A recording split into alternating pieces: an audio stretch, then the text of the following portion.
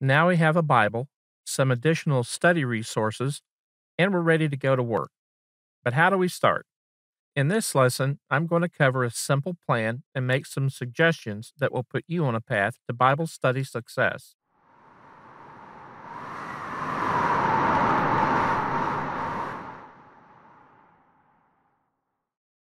The basic considerations we're going to cover are setting goals, determining a schedule, and finding a place to read or study. If you're new to the Bible or have been studying for a while and find yourself frustrated with your progress, the first thing I'm going to suggest is that you just take a deep breath, sit back, and make a fresh start. One of the most important things to realize when setting goals is to be realistic. The Bible is a big, thick book with a lot of words and a lot to learn and that's not going to happen overnight. You want studying the Bible to be an enjoyable experience, and that will make it easier to proceed. You want to move at a pace that's right for you so you can absorb what you're reading. We don't want to make the mistake of rushing too fast and missing the point of what we're covering, and we don't want to move so slowly that we lose interest. Goals need to be set, but they need to be your goals, not someone else's, so you can learn at your speed and enjoy the process. I'm not going to identify specific items for you. That'll be up to you. But I'm going to outline a goal setting process that's worked for me and might help you as well. First, write down what you want to accomplish. Take an inventory of what you know now, and then imagine where you'd like to be in six months or a year. What would you like to know or be able to do then that you don't know or can't do now? Second, work backward from your imagined endpoint and list the things you think would have to be done to get you there. This is a good way to identify what you need to consider, any obstacles you might encounter, and what you'll have to do to achieve your goals. Write these intermediate steps down and then write yourself a note that these are subject to change. Anytime we embark on something new, it doesn't matter how much forethought we give to it, there are always things that come up that we didn't think about so we need to be flexible and willing to shift things around if needed. We might also find that some steps won't be needed and we can erase them. Third, determine a time frame for getting this done. Be reasonable and realistic with yourself. Some things to consider aren't limited to just the amount of time that you'll need, but you also have to think about what you've been able to learn in the past and what you've had to do to achieve that. Use your past successes to help come up with a good estimate and then write yourself a note that this is also subject to change. As part of your goal setting, create a checklist containing the end result and the intermediate steps you've identified. This will give you a visual reminder of where you were, what you've done, and where you are now.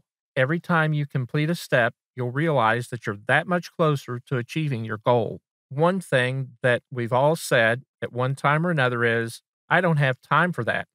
And we might be right we really don't have enough time to do everything we need or want to do, so that means we have to make time.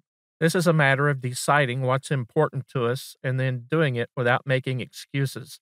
If we're serious about the Bible, we'll find a way to clear our schedules and get it done. Here are some things to think about when determining a Bible reading or study schedule. First, you know your attention span, so you want to set an amount of time to spend reading and studying that'll work for you. Some folks enjoy marathon sessions, while others have to take things in smaller bites, and that's perfectly fine. As with goal setting, you don't want to be unrealistic and push yourself too long or cut the time so short that you get nothing from it. Be reasonable. Start with smaller time increments and then add to that when and if you can. Once you have an idea of how much time you can spend reading or studying, you want to get that on a calendar or just write it down. One thing to remember is that this doesn't have to be the same time every day if your schedule doesn't allow that. So don't set up a rigid framework that will lead you to crossing out days or times and eventually fall by the wayside. If you can start with 15 minutes, then take a look at the week, figure out when you have that much time available each day, and come up with a working idea of when you can do it. A key idea in this lesson has been to be flexible, and that applies to study time as well. We want to make sure that we spend time every day with God's Word and be consistent, but we don't want to lock ourselves into a time frame that we can't make allowances for. The last thing to consider in regard to setting a schedule is that Bible study should be an enjoyable activity, so don't turn it into a chore. The best time to study the Bible is when we want to, not when we have to. We want to love what we're trying to accomplish, not frustrate ourselves. Find a place to study. Everyone has a different level of concentration that fits their learning style. I know folks who prefer loud music in crowds, while folks such as myself need silence and no distractions. We know what environments we do our best in. So, as we plan our study times, we need to also think about where we can read or study that best suits our needs and abilities. As I'd mentioned earlier, we need to be flexible with this. Personal study doesn't need to be rigidly formal or so loose and relaxed that we can't focus. Think about where you can do this, and if needed, access things like a surface to write on and enough space to open a couple of books if you need to. One thing I haven't mentioned but needs to be covered is that there's a difference between reading and studying. When we're reading, our aim is to go through the material at a comfortable pace and simply explore the narrative. We're not concerned with an in depth analysis, we just want to know the story or get the facts as presented. Study, on the other hand, is when we decide to focus on a particular area with the aim of performing a detailed analysis so we can come to a better understanding of it. There are times when our sessions are a combination of both, but if you just want to read the scriptures, then do that and note passages that you want to come back to for a deeper investigation.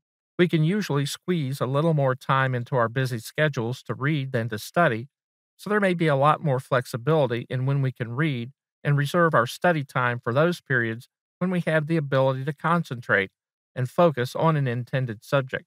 For reading purposes, many Bibles and bookstores have a daily reading calendar that you can use to structure this and keep you on track if that works for you. In the next lesson, I'll discuss some tips for memorizing the books of the Bible and why you need to do that.